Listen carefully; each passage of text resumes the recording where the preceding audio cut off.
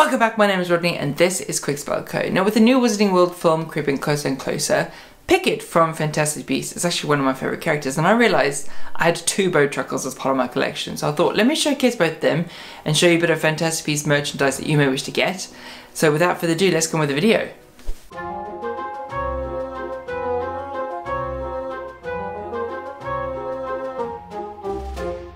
Okay, so the first Pickett from Fantastic Beasts that I wanted to showcase was this one that I recently purchased. Now this is a posable Bowtruckle basically, and you can move him about. He does go into like different positions if you wanted to put him like with his hands and so forth, and very inexpensive. It came in one of those little like box sticker sets, and it came actually with two magnets that are of him, like with the Bowtruckle, like as a description, like saying its name, and then I think it's a still from the film. You can have those in your fridge. It comes with a little booklet as well, but very cost effective.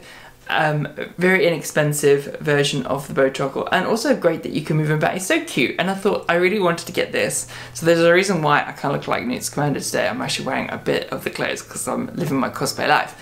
But I really wanted to get this so that it could like fit in my pocket and it could be like fancy dress thing or even just if I'm feeling like it, just put my little Bowtruckle in my pocket because obviously if I've got the jacket, you can just in the top pocket, have a little Newt Scamander wand and have your little Bowtruckle and then be living my Newt Scamander life. So this is why I wanted to buy this. It's so cute. I was in it with a group of people and they all kind of bought them and I, I didn't buy it because thinking, oh, I've already go, got a Bowtruckle which will be the second item I showcase.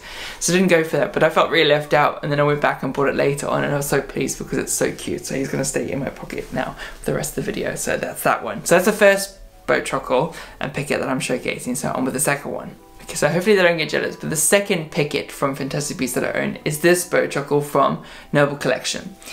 A beautiful piece I received this Christmas. I've showcased in another video, but this video is all about Pickett today.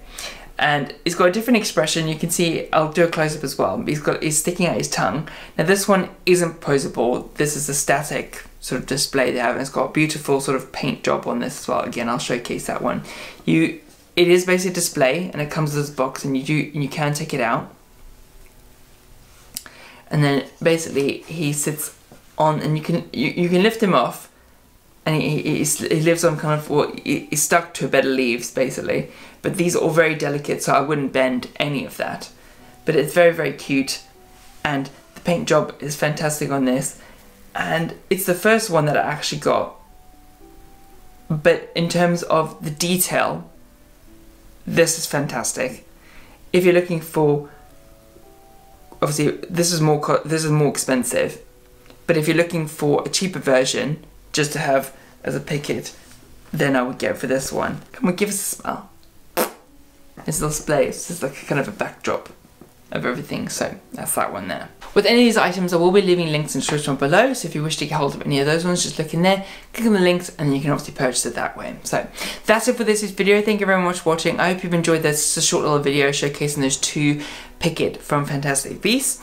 If you have enjoyed that, please do give me a thumbs up. If you're new to the channel, please do subscribe for more of the same Wizarding World content, which you can do by clicking on that box over there. And if you missed my last week's video, you can find that by clicking on that box over there. And you may know already, the Wizarding World is just one spell away.